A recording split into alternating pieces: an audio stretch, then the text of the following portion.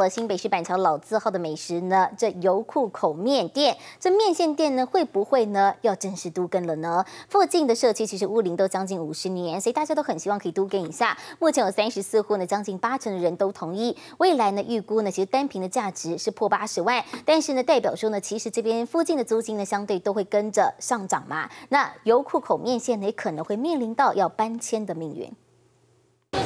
来，小心哦！鹅啊，又大又肥，新鲜味美，再搭配个烤香肠，看了让人口水直流。这就是新北板桥老字号的油库口面线，店里天天高朋满座，但附近老公寓屋龄都将近五十年，与周遭高楼大厦显得格格不入。目前已经启动都更，未来房价单平上看八十万元，届时面线店可能难以负担房租，恐怕面临搬迁命运。我觉得说，如果是要都更的话，可能可能会蛮有意见的啦。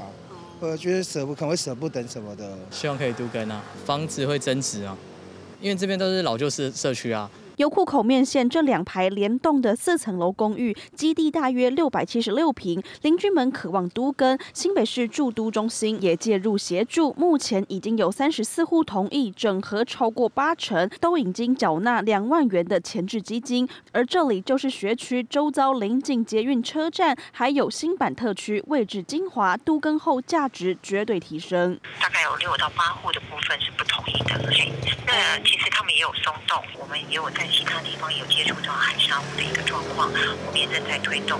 那预计今年可以推到两到三个。都更是段漫长的旅程，有人同意，也有人不愿意，还需要更多的与住户沟通。只是怀念的老字号味道，如果搬了家，当地居民也有一点舍不得。就这种报道。